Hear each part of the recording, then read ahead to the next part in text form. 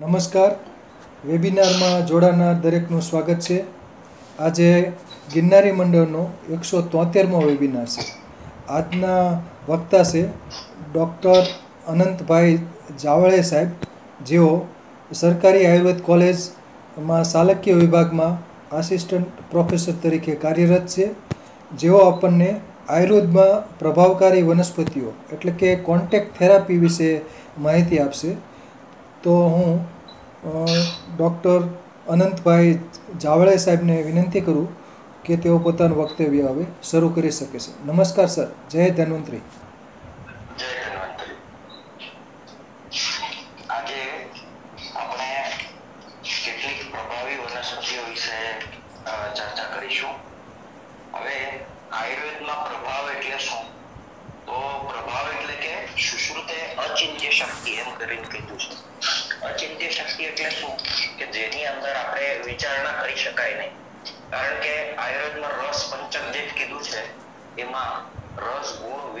વિપાક એમ કરીને છે. તો એમાં આ પ્રભાવ છે. તો જે રસ ગુણ છે, તો એ સમાન હોવા છતાંય જો કેટલાક ઔષધિની અંદર વિશેષ પ્રભાવ હોવાના કારણે એ પ્રભાવથી કામ કરતી હોય છે. તો આવી જે વનસ્પતિઓ છે આ પ્રભાવથી કામ કરતી વનસ્પતિઓ અથવા અચિંત્ય શક્તિ ધરાવતી વનસ્પતિઓ એમ કહેવાય. તો આ જ્યારે આના માટે બધું સંકલન કરવા બેઠા, તો મોટા ભાગની જે વનસ્પતિઓને સામે આપણે જોવામાં આવ્યું, તો એની અંદર સુપ્રસવ સુપ્રસવ કરાવતી વનસ્પતિઓ એવી આવી કે અળુસી છે, એના મૂળ, પછી કેળનો કંદ છે, પછી આકડો છે, જે આપણે પાસે ઘણા બધા ઉગતા હોય છે. પછી એના પછી દુખાવા દૂર કરતી વનસ્પતિઓ છે પછી આયુર્વેદની અંદર કીધું છે એ પ્રમાણે જેનો વિશેષ પ્રભાવ છે એવો વામક પ્રભાવ, એટલે કે ઉલટી કરાવતી વનસ્પતિઓ. પછી વિરેચન પ્રભાવ, એટલે કે શામાત્રી વૃત એટલે કે નસોતર વગેરે, એ પછી નેપાળો છે. તો એ જે છે પ્રભાવથી વિરેચન કરાવતી વનસ્પતિઓ છે. પછી આ જ પ્રમાણે કેટલીક વિષગ્ન વનસ્પતિઓ છે એ વિષવાળી અને વિષગ્ન બંને. જેમાં એનો પ્રભાવ વિષાક્ત છે. તો એના જેવી રસ રસ વીર્ય વિભાગ ધરાવતી વનસ્પતિઓ જોવા મળે. પણ છતાંય એનો વિષાક્ત પ્રભાવ હોવાના કારણે એ વિષ એની વિષાક્ત અસર જોવા મળે છે. પછી એ જ પ્રમાણે વિષગ્ન પ્રભાવવાળી વનસ્પતિઓ જોવા મળે. એ પ્રભાવથી વિષગ્ન કહું છું તો હવે કેટલીક વનસ્પતિઓ જોઈએ, એના જુદા જુદા પ્રભાવ છે. તો એ આપણે ક્રમથી એક એક કરીને જોઈશું. તો એમાં સૌથી પહેલા આપણે પાટલા છે. પાટલા આ સ્ટીરિયોસ્પર્મો સુવ્યુલન્સ અને ટેલેડોન્ડ્રોન ફ્લેમોડિસ આ પ્રમાણે બે વનસ્પતિઓને આપણે ત્યાં અહીંયા શું કહેવાય, પાટલા તરીકે ગણવામાં આવે. આ પાટલા જે છે એ દશમૂળની વનસ્પતિ છે. નથી આવતું હોય, અથવા તો રોકાઈ રોકાઈને આવતું હોય. તો એની અંદર જે એના પાન છે, એ પાનના રસની થેપલી બનાવીને અથવા એટલે કલ્ક પાંદડાનો કલ્ક બનાવીને નાભી ઉપર રાખવાથી એ મૂત્રકૃચ્છ જે છે, એમાં ફાયદો થાય છે. તો માત્ર નાભી ઉપર એ પાંદડાના કલ્પનો સ્પર્શ થવા માત્રથી આ મૂત્રકૃચ્છ છે, એ એમાં ફાયદો થાય છે. પછી એ જ પ્રમાણે આ જો પાંદડાના રસની થેપલી એટલે કે કલ્કને માથાના તાળવા ઉપર જ્યારે લગાડવામાં આવે, અથવા એના પર રાખવામાં આવે, તો એ માથાની ઉષ્ણતાને દૂર કરે છે પછી નાના બાળકોમાં ખાસ કરીને તાળવું પડવું નામે એક રોગ થાય છે કે જેમાં વારંવાર તરસ લાગતી હોય છે. તો જેમાં આવી વારંવાર તરસ લાગતી હોય એવા નાના બાળકોની અંદર પણ આવી રીતે આ પાટલાના પાનનો કલ્ક બનાવીને, એની થેપલી બનાવીને તાળવા ઉપર રાખવામાં રાખવામાં આવે તો એનાથી ફાયદો થાય છે. પછી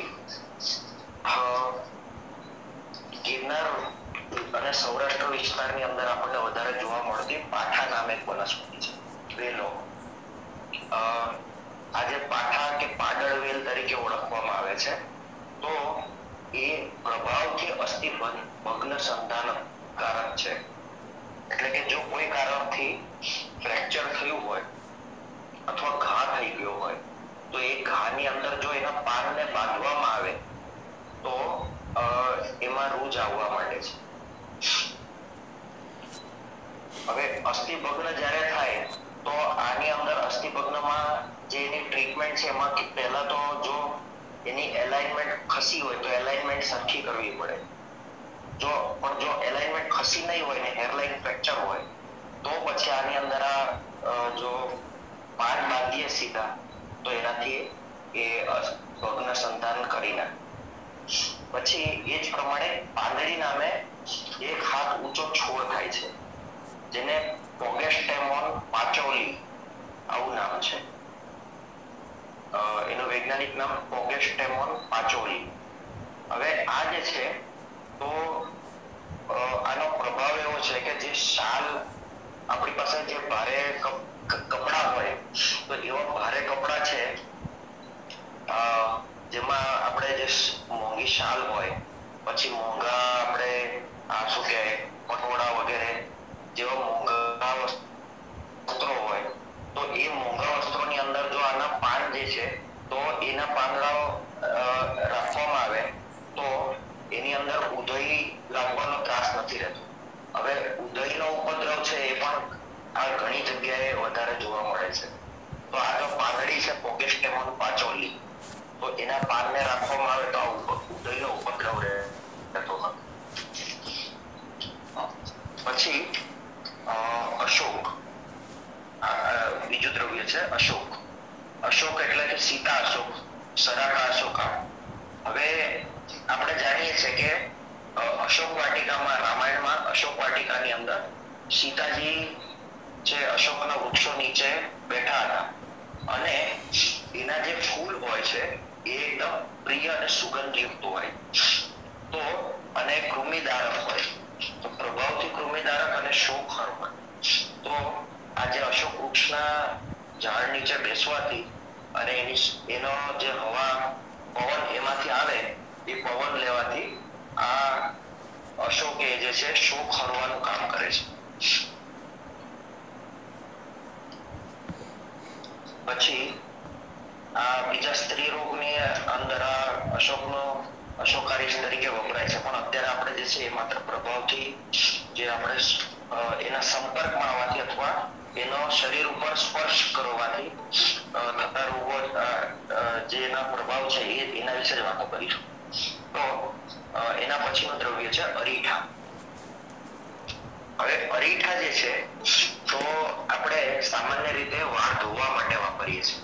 અરીઠાનું પાણી, પાણીની અંદર જો એને ભીજવી રાખીએ ફળને તો એમાં ફેણ નીકળે છે, એટલે કે જે શેમ્પુ જેવું બને છે.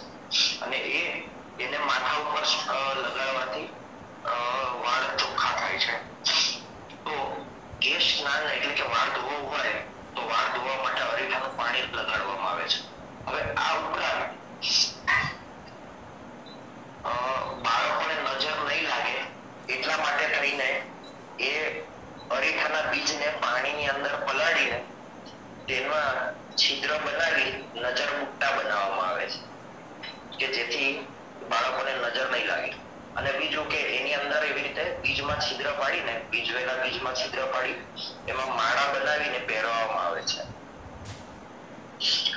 પછી આ જે અરીઠાનું પાણી છે, એમાં વિષગ્ન અસર છે. ઉપરાંત તે વામક છે. તો પ્રભાવથી એ વામક છે. જો સર્પદંશ થાય, તો સર્પદંશની અંદર આપણે બીજું કઈ નહીં મળે. ત્યારે અરીઠાનું પાણી જે છે તો અરીઠાના પાણીથી આપણે આંખમાં જો અંજન કરવામાં આવે, તો આંખમાં અંજન કરવાથી બળતરા થાય છે. અને આ ધીરે ધીરે જે સર્પદંશ છે, એની અસર ધીરે ધીરે ઓછી થાય છે. તો હવે આ ક્યાં સુધી કરવામાં આવે કે જ્યાં સુધી સર્પદંશ છે, એની વિષાક્ત અસર દૂર થાય ત્યાં સુધી. પછી પછી જો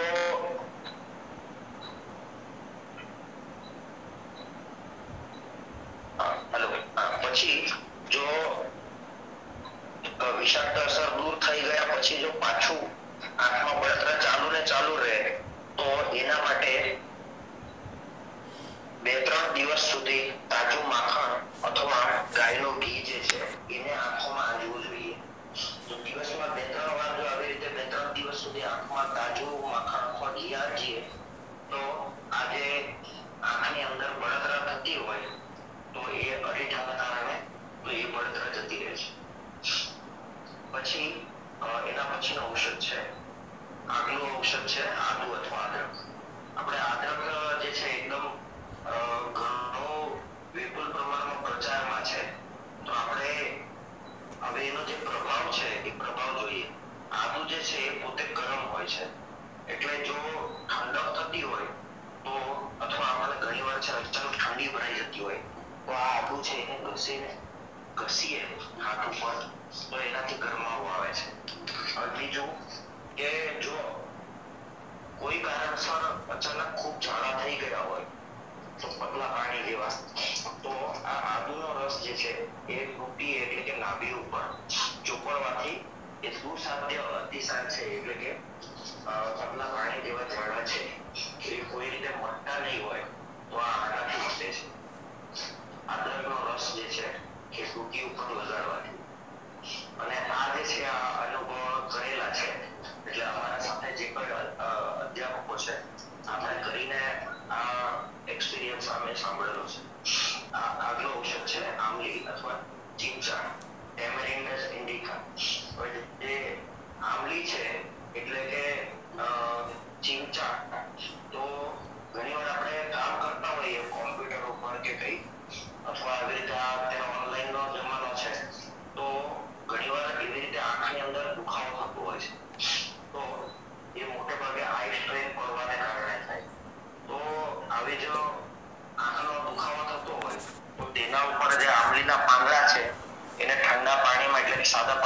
ભીજવીને પછી બંધ આંખે એના પર લેપ કરવાનો. બંધ આંખે જો લેપ કરવામાં આવે, તો એ આંખમાં દુખાવો એટલે સ્પેસિફિક જે આઈ સ્ટ્રેનના કારણે થાય છે, તો એ જતો રહે છે. પછી એ જ પ્રમાણે પ્રભાવથી કે જે નાસુર કહેવાય છે, એટલે કે નાડી વ્રણ અથવા ફિસ્યુલા સાઇનસિસ થતા હોય, કે જેમાં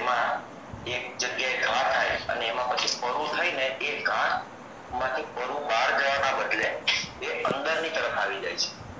તો શરીરની અંદર આવવાથી અંદર એક ટ્રેક બનાવે છે. અને આ જે છે, પછી મળવું અઘરું પડે છે. તો, આવા જે કેસ છે, જેને નાડી વ્રણ અથવા સાઇનસ અથવા ફિસ્યુલા તરીકે ઓળખવામાં આવે છે. તો, એમાં આ આંબલીના પાનને લુગડી બનાવીને એની ઉપર લગાડીએ, તો એનાથી આ મટી જાય છે. હવે એક બીજું, આ આંબલી જે છે, આંબલીના બીજ, એને પાણીની અંદર ભીજવીને, જો એની લુગદી કરવામાં આવે, બીજના, ભીજવેલા બીજની લુગદી અંદરની જે સફેદ હોય ઘર, તે જેને મિંજ તરીકે ઓળખવામાં આવે છે. તો એ મિંજને ટચલી આંગળી ઉપર લગાવ બાંધવાથી, જેને તાવ આવતો હોય, એટલે કે જે તાવ આવવાનો છે એવું લાગતું હોય, તો જો આમ આવી રીતે આંગળીએ ટચી આંગળીએ બાંધી દઈએ, તો પછી એને તાવ આવતો નથી પછી બીજું ઔષધ છે અગેરો એટલે કે અપામાર્ગ આયુર્વેદમાં અપા માર્ગ એક દિવ્ય વનસ્પતિ છે. એ આપણા વૈદિક કાળની અંદર પણ કહેવામાં આવી છે. હવે ઋષિ પાંચમ એટલે કે અત્યારે જે ભાદ્રપદ સુદ પાચમ ગઈ, એ દિવસે અપામાર્ગનું દાતણ કરવામાં આવે છે. પછી શુભ પ્રસવ શુભ પ્રસવ માટે અઘેડાના મૂળને સૂતરના દોરા વડે બાંધીને જ્યારે સગર્ભાને વેણ આવે છે, તો એવા વેણ આવતી વખતે સૂતરના દોરા વડે અઘેડાના મૂળને કમરે બાંધવાથી શુભ પ્રસવ થાય છે. હવે જેવો પ્રસવ થાય એટલે તરત જ કમરેથી એ મૂળને છોડી દેવું જોઈએ. પછી નેક્સ્ટ છે ઇન્દ્રવર્ણ આ ઇન્દ્રવર્ણ પણ એવી રીતે સુપ્રસવની અંદર એનું મૂળ જે છે એ સગર્ભ સ્ત્રીના વાળને એટલે કે ચોપલાને બાંધવામાં આવે છે. પછી સુપ્રસવ થતા એ કાઢી લેવામાં આવે છે. પછી ઇન્દ્રવર્ણાનો જે ફળ છે એને તગારામાં રાખીને ડાયાબિટીસ નો દર્દી, એટલે કે મધુપ્રમેહ નો દર્દી જો પગ વડે ખૂંદે, તો એનાથી ડાયાબિટીસ નો ફાયદો થાય છે. પછી નેક્સ્ટ આગલી ઔષધિ છે, એરંડ. એરંડ એટલે કે આપણે જેને દિવેલો તરીકે ઓળખવામાં આવે છે. એરણના પાર જે છે એ માથે બાંધવાથી માથાનો દુખાવો મટે છે. પછી આગલું ઔષધ છે કુકળવેલ આ કુકળવેલ જે છે એ પ્રભાવથી વામક છે. એટલે સંસ્કૃતમાં કુકળવેલને દેવદાલી તરીકે અથવા જીમુતક તરીકે ઓળખવામાં આવે છે. તો વામક પ્રભાવ મેળવવા માટે, એટલે કે ઉલટી કરાવવા માટે કુકળવેલના ફળનો ઉપયોગ પછી કુકડવેલ જે છે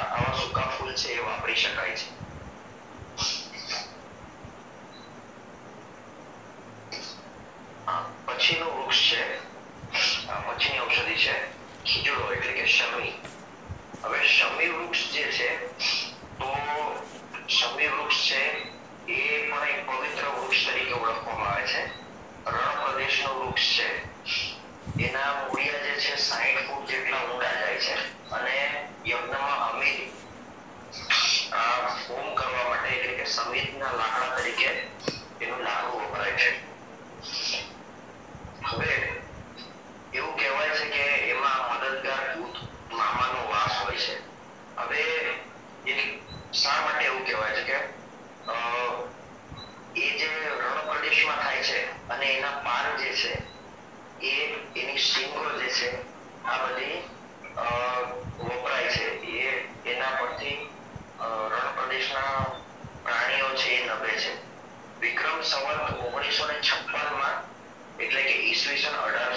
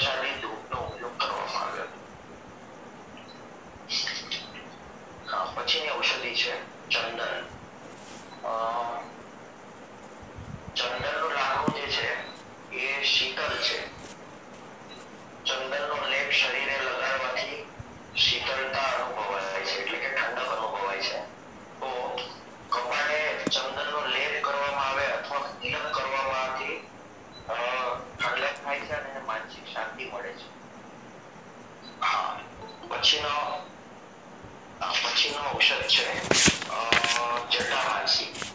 હવે આ કેટલાક ઔષધો એવા છે કે જે નિદ્રા જનન તરીકે એટલે કે અનિદ્રામાં વપરાય છે.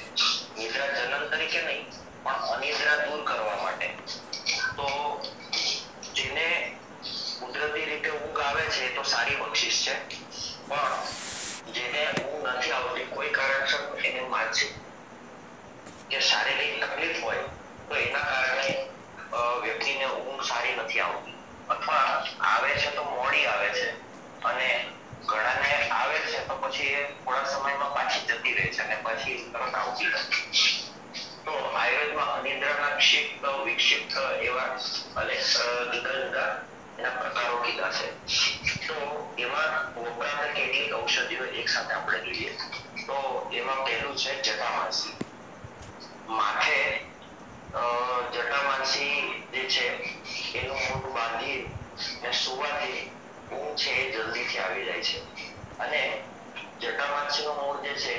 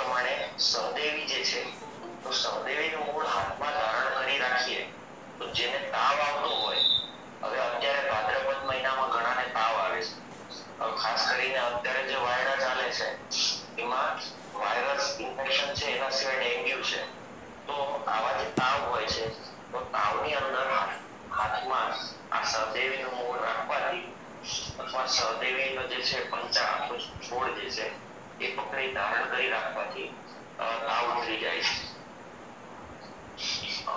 પછી પછીની વનસ્પતિ છે.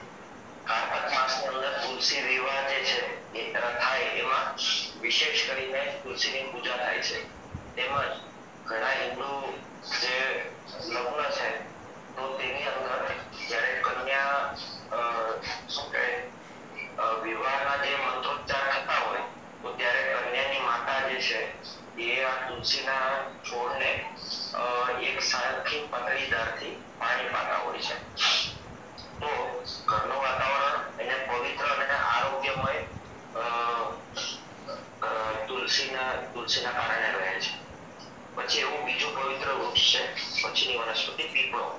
પીપળો પણ એક પવિત્ર વનસ્પતિ છે, વૃક્ષ છે. તપસ્વી લોકો પીપળા નીચે પૂજા કરે છે, જેની સાધના કરે છે. પછી શ્રીમદ ભાગવત ગીતાની અંદર શ્રી કૃષ્ણએ વૃક્ષોમાં હું પીપળો છું એમ કહેલ છે. પીપળા નીચે બેસવાથી શ્રમ દૂર થાય છે એવી અનુભૂતિ થાય છે. અને એ હંમેશા ઓક્સિજન આપતો વૃક્ષ છે, એટલે એના નીચે બેસવાથી શ્રમ હારનો ગુણ મળે છે અને સુખ ઉત્પન્ન થાય છે. એટલે સુખ એટલે આયુર્વેદમાં અનુકૂળ વેદનિયમ સુખમ એમ કીધું છે. એટલે કે એની નીચે બેસવાથી આપણને અનુકૂળતા લાગે છે રાહત લાગે છે. પછી સર્પદંશમાં પીપળાના પાનનો પ્રયોગ. સર્પદંશની અંદર પીપળાના પાનની ડાળી લઈને તો ઉમળા જે જે ડાળી હોય, એને જે વ્યક્તિને સર્પ દંશ થયો છે અને એને કારણે જે વિષ ચડ્યું છે, તો એવા જે દર્દી છે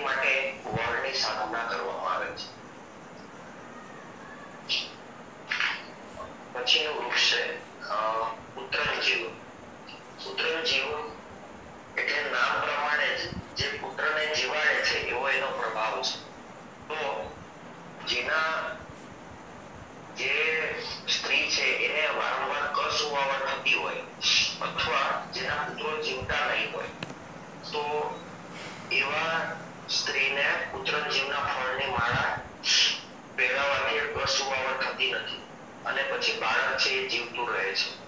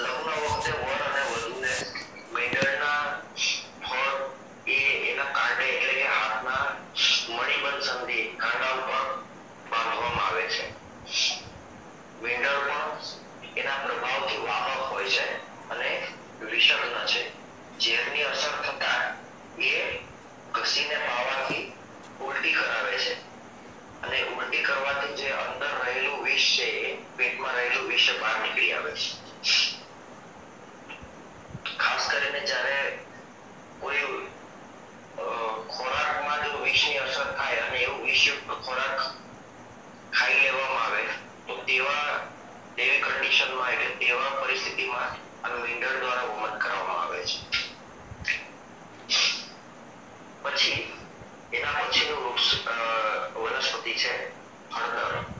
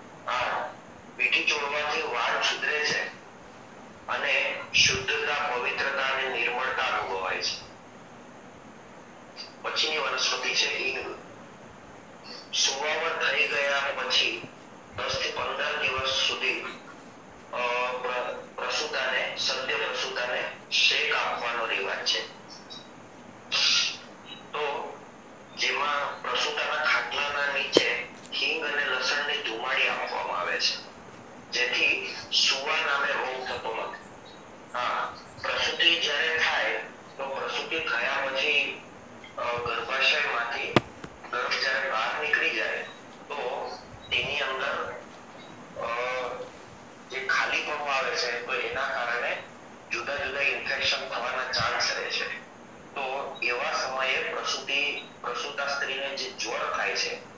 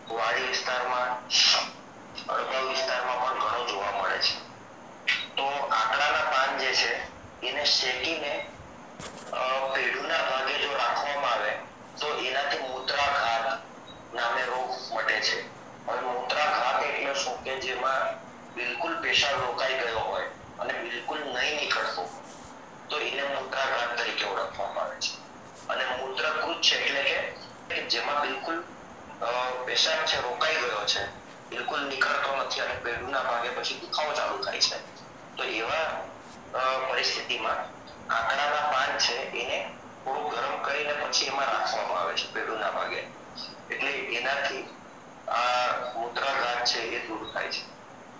પછી એ જ પ્રમાણે આંકડાના જે પાકેલા પાન છે, અત્યારે વરસાદના સિઝનમાં ઘણીવાર આપણે પાકેલા પાન જોવા મળે છે ભાદરવા માસમાં. તો વરસાદમાં એવું કહેવાય છે કે વર્ષા ઋતુ જે છે એની અંદર વાયુનો પ્રકોપ થતો હોય છે.